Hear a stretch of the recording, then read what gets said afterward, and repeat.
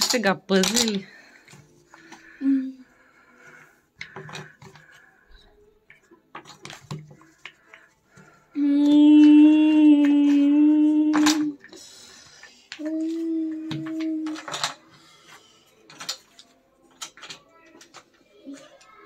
Почва да ги облизва и да ги слага в устата.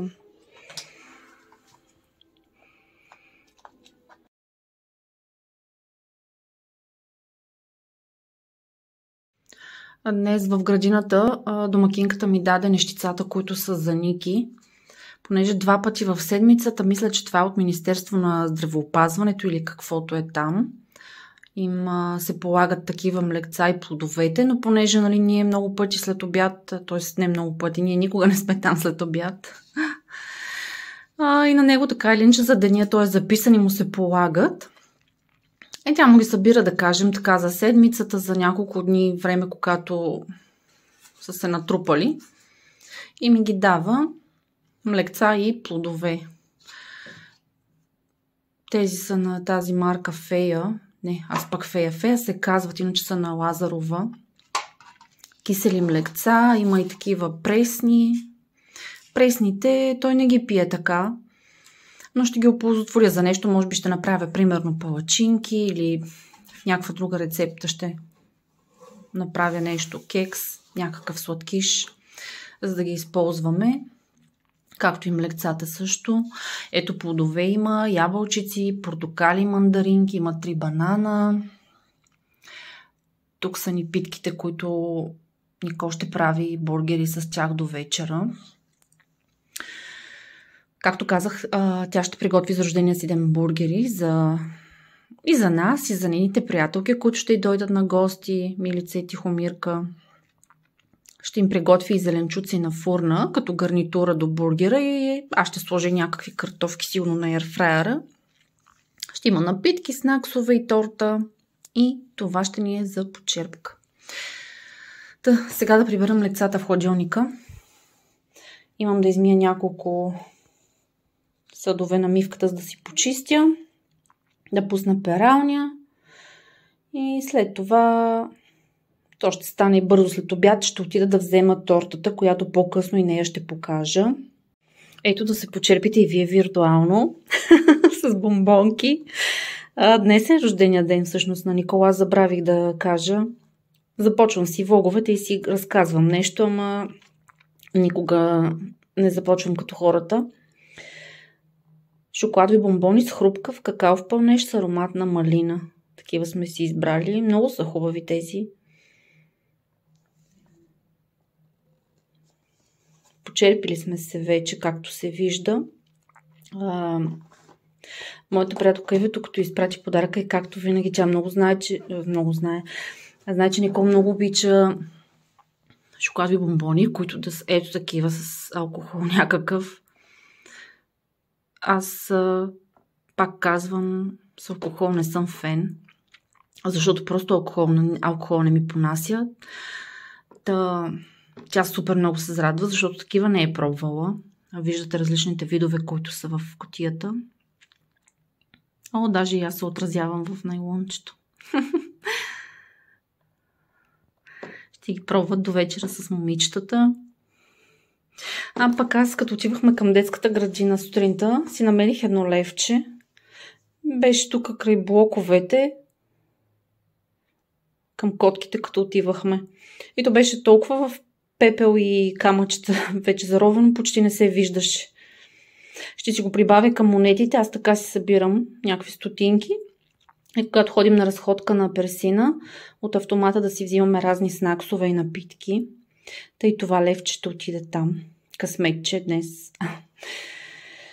Та, аз оставям да надувам малко балони. Сега ще надуем и тези тук да видим как ще бъдат. Дано изглеждат хубаво. И дано да се справя. Такива също ще надуем. Ще ви покажа после всъщност и от а, останалите неща от подаръчето от Ивето, които получи Никол. Така, изчезвам да надувам балони. Включвам се да ви покажа и а, от подаръчетата от моята приятелка Ивито за Никол. Има си картичка, много хубава. А, тези свещи, които ухаят невероятно. Янки Кендъл. Три на брой са. Аромата толкова силно се усеща, още когато Никол си отваряше подаръка. И си има и бижу такова я подарила, което е с а, кристали Сваровски. В тази котийка беше. Тя разбира се си го извадила. А, даже вече го беше закачила при другите джунджури, които има. Много и хареса. Тя все пак обича бижута. И хем си пада по такива модели. Чолкър. Този е двоен чолкър с кристалчета.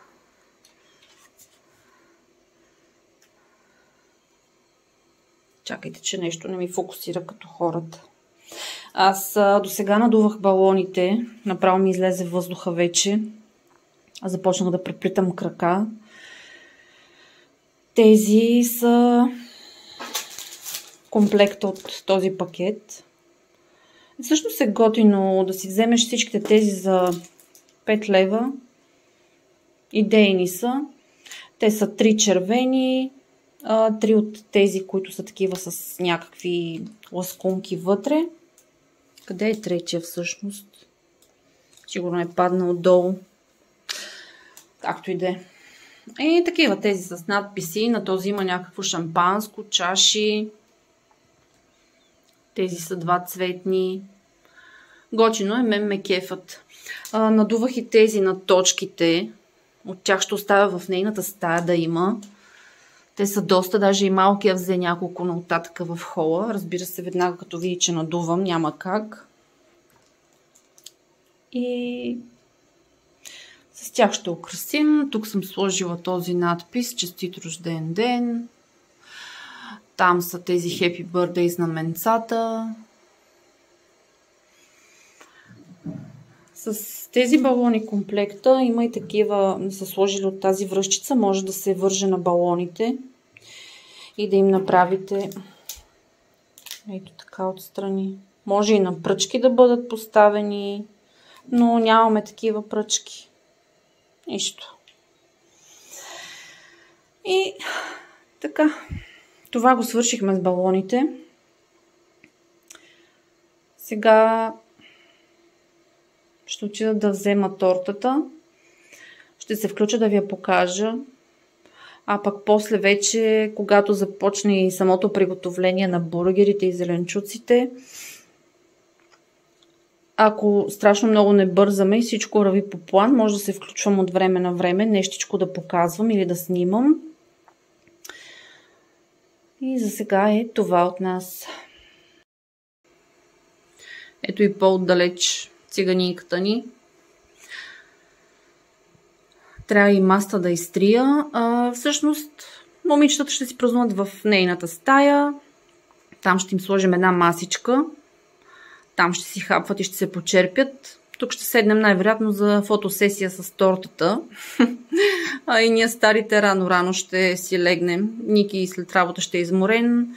Аз също съм стара за вече за такива купони и партита и рано ще се предам. Но украсявам, поне за снимките да ни е по-така празнично. Здравейте в новото ни видео. Снимам си аз вече вчера и днес и по едно време се усещам, че нямам никакво начало на този влог. А за това се включвам всъщност сега, за да кажа само здравейте.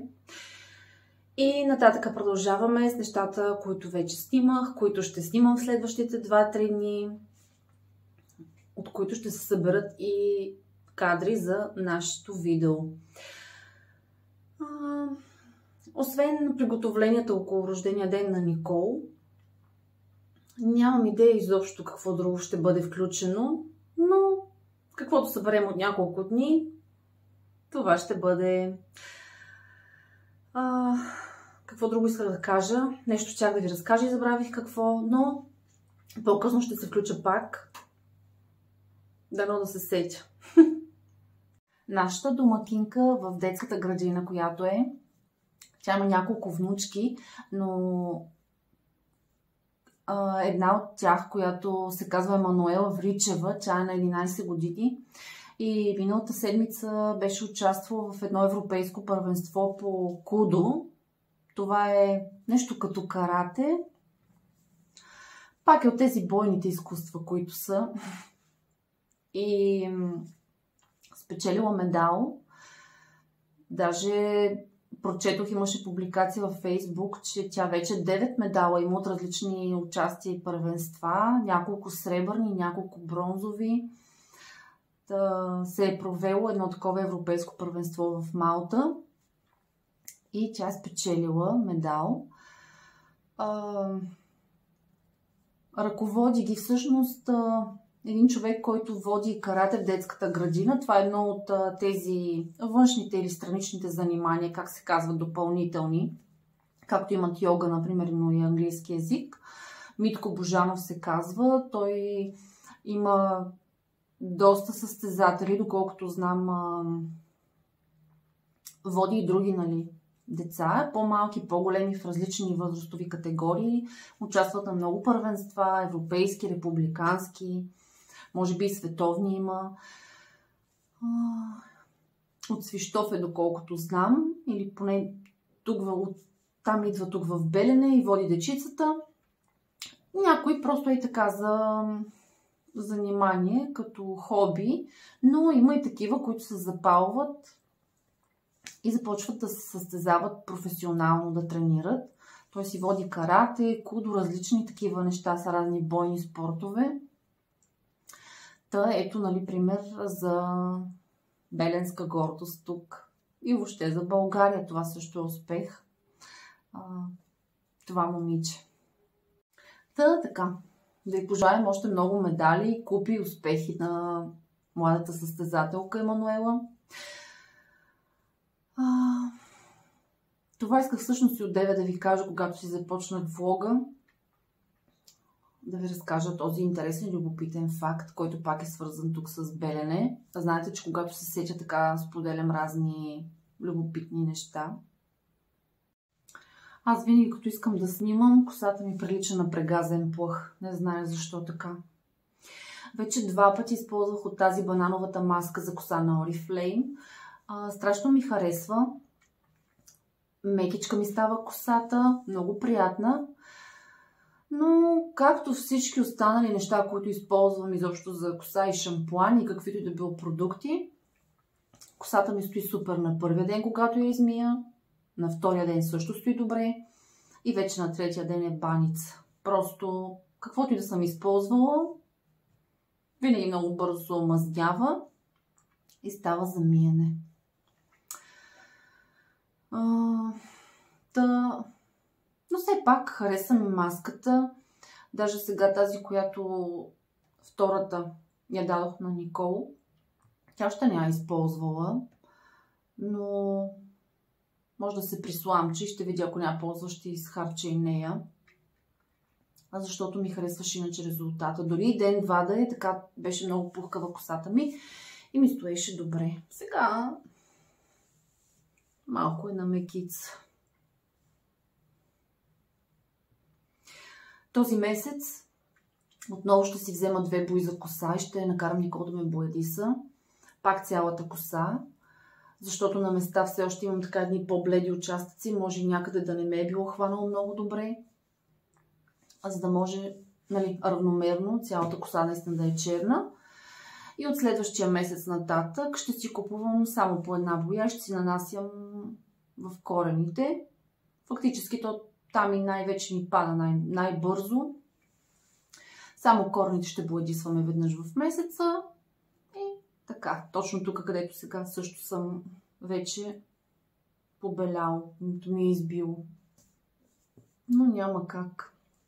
При мен винаги толкова бързо падат боите, каквото и да правя и каквито и марки да опитвам, винаги цвета бързо пада.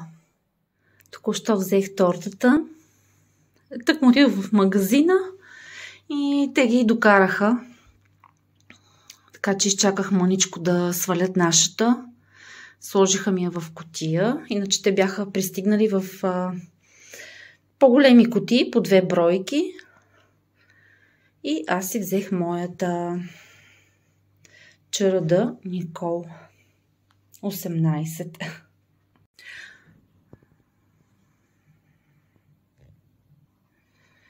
Ще намеря една снимка, за да ви покажа как изглеждаше за 15-ти рожден ден плодовата торта. Тогава пак такава си беше избрала.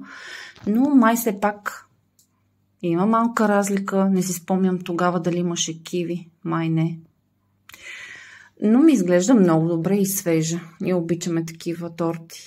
Плодови, сметана да има. Еклеровата също ми е много-много любима. На последно място оставям шоколадова торта, защото са ми много тежички. Да видим как изглеждат тези бомбони отвътре. Бутилчиците. Защо никога не ми се получава с една ръка? Ето. Имаме пиня колада, водка. Все пак може да опитам един бомбон. Но и аз не знам от кой. Шест вида са. Имаме мохито.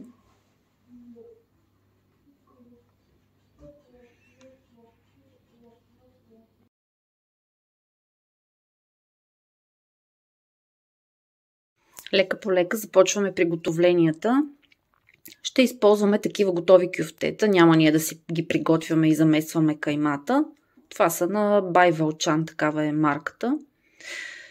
Ще има краставички, ще има лук, ще има ето такива слайсове, чедър,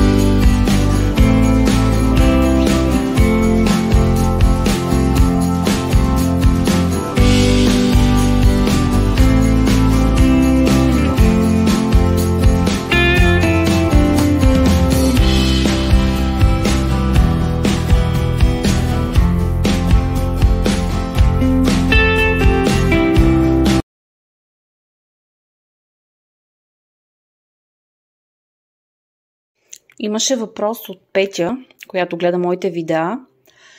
И на нея беше интересно какви играчки се падат в Lucky Boy, който ние консумираме всеки ден. По една опаковка задължително, понякога и две. Та... Цената на един такъв Lucky Boy, който си взимаме от най-близкото магазинче е 1,40, но в други магазини варира. Купували сме ги за 1,60, 1,50, 1,80 дори. Всеки магазин си преценява и си слага вече цена. Ние ги взимаме за 1,40. Ето някои от нещата, защото много от тях, с които примерно не му е интересно и не играе, аз ги нося в детската градина. Затова доста от нещата всъщност не са вече при нас. Но, например, ето тази колекция от червени такива автомобилчета, въртолет, камиончета. Всичките са от Lucky Boy. Тези жълтите коли също. Тези също. Самолетчето. Падат се различни видове камиончета, автомобили, различни модели. Понякога полицейски. Бяхме събрали цяла а, колекция от подобни, като имаше и полицейски, и товарни разни. Въртолетчета също. Тя ги занесохме в детската, че не играеше. А, ето тези, както и тези също са, всичките са от Лаки Бой. Той много играе с тях и виждате, че ги е пожулил вече. Боята е паднала. Падат се често острилки, различни модели. Показвала съм преди, дори когато се падаха едни с формата на грахова шушулка с грахчета, чашчици, тези топчета, които той също много играе с тях и вече виждате, че боята им е паднала. Те са като такива въртящи се. Падали се много пъти. Спинари за въртене. Ето такива някакви джаджи също се падат. малки фотоапаратчета, в които има картинки. С всяко натискане се сменя картинката, разни животинки са вътре. Йо-йо се е падало. А, различни маркери. Тук мисля, че имаше останал един. маркери, различни цветове. Различни стикери, лепенки, неща за сглобяване. Но най-често се падат ето такива автомобилчета. Топчета. Част от като те не са магнити, но имат лепенка отзад, като стикери. В същото време са изработени от дърво. Тук ги лепим на шкафа. Тези всичките също са от Lucky Boy. И така. Това са нещата. Просто играчки. Различни се падат. Интересни са му. С някои играе, които не играе ги събирам и нося в детската. Казах вече, купуваме ги за 1,40 но се намират и на всякакви цени близо до почти 2 лева. Зависи от къде си купувате зрънчето. А, няма да очудя никого, ако кажа, че разбира се, закуската на следващия ден, след рожден ден и след празник у дома, се състои от торта. Това ни остана от нощи. Ние с Малчо вече закусихме. Сега ще отрежа едно парче на Никол, която по-докъсно спа, защото те и седяха по-докъсно момичетата. Ето как изглежда тортата отвътре. Лекичка е, с крем, много приятна. Портокал, киви, тук в средата имаше малинки, сметана. Хареса ни. Тя не е най-голямата всъщност. Това не знам колко парчета бяха, но мисля, че малко по-малка от обичайните, които взимаме. А, Ники каза, че цената е била 32 лева и някакви стотинки. Още когато я поръчал, нали, я платил. Аз само че да я взема. Затова и не съм а, се интересувала точно колко. Но после го питах. Той каза, че е 32 лева. И сега ще отрежа едно парче за Никол да закуси. Тези чиники доста скапани излязоха да ви кажа, но в крайна сметка 10 бройки за левче, нормално.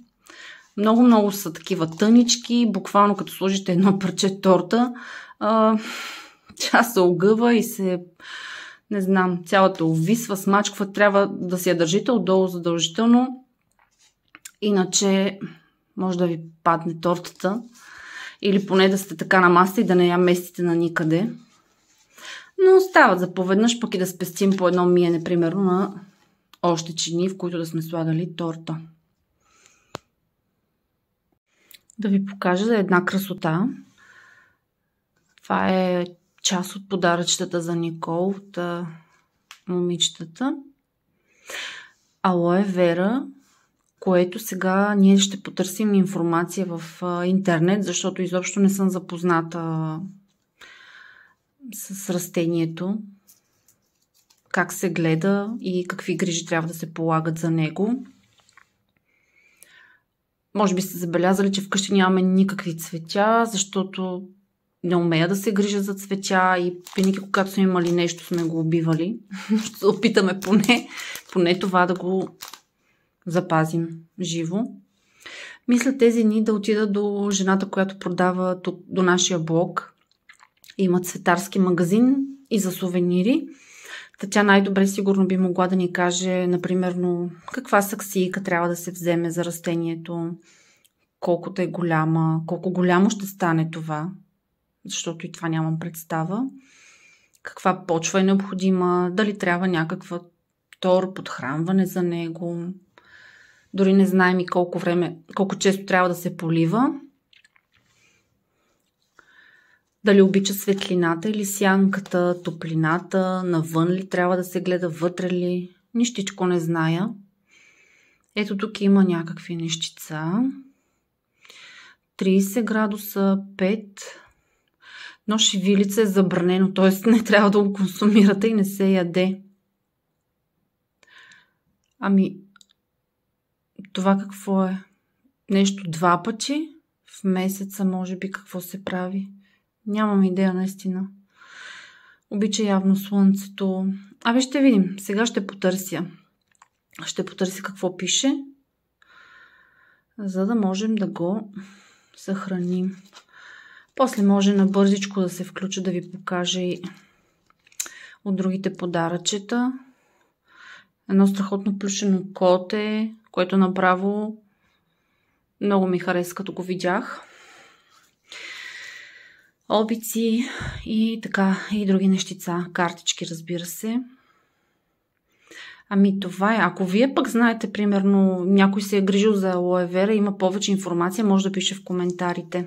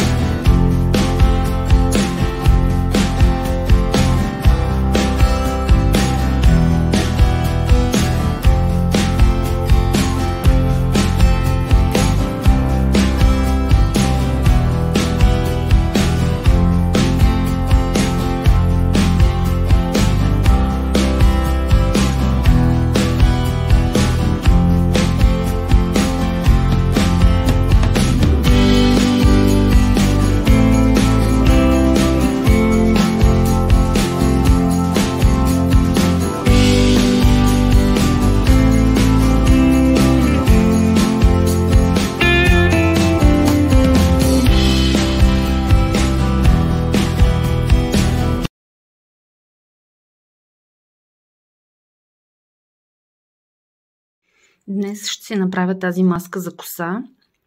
Mask Me Up. Корейска е. Беше се паднала, мисля, че в кибри, а, кибрид котия. Още есента. Като тогава попитах Никол, тя искаше да си я прави. Но така и остана и всъщност онзи ден я мернах и я попитах, ако не си я прави да взема аз, ще я използвам. Та в крайна сметка ще си я направя днес. Четох отзад инструкциите. Трябва първо да си изкъпа, ще си измия косата, трябва да я подсуша и след това вече да сложа шапката за 10 минути. Мога да масажирам скалпа и после я измивам. Да видим какъв ще е ефекта после. Като някой стращелник съм с това на главата.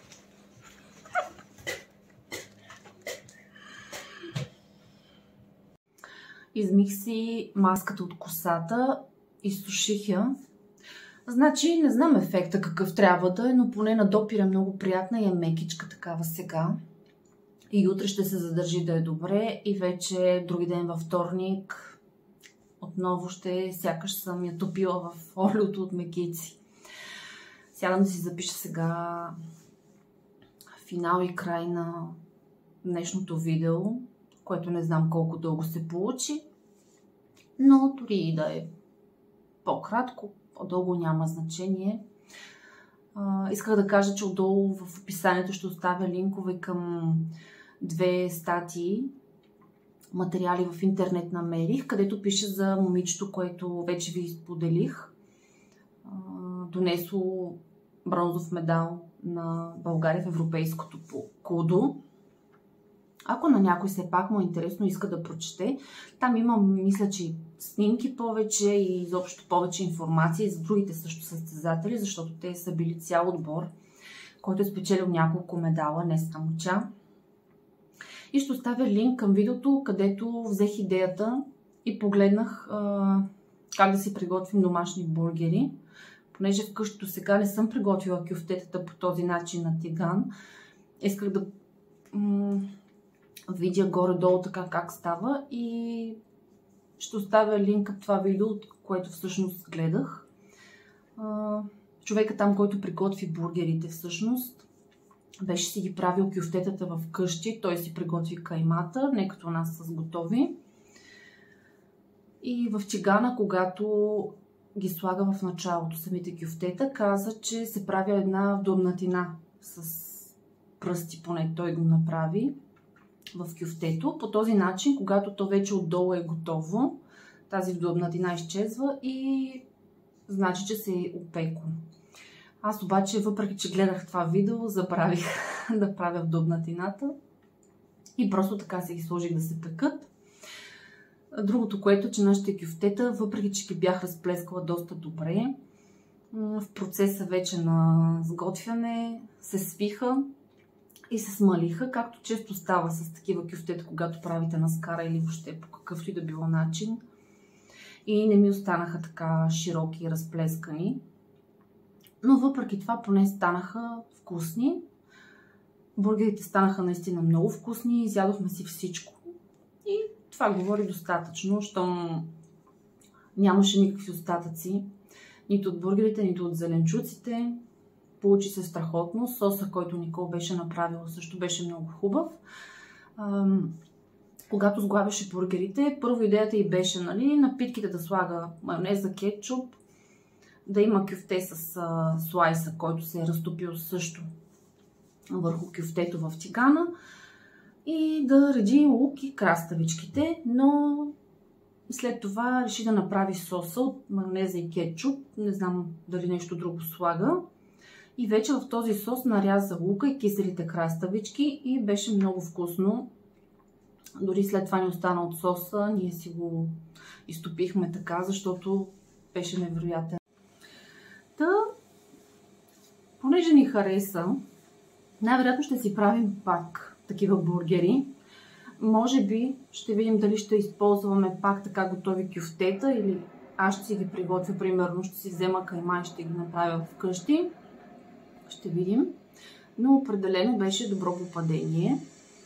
Та ще оставя се пак линк отдолу, ако някой от вас иска да си направи тази рецепта, която аз гледах.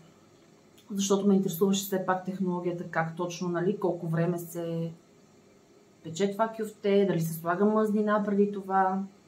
Не бях сигурна. Не си спомням също така дали казах дали съм доволна от банановата маска, която използвах за коса на Oriflame. Мисля, че в миналия влог я показах.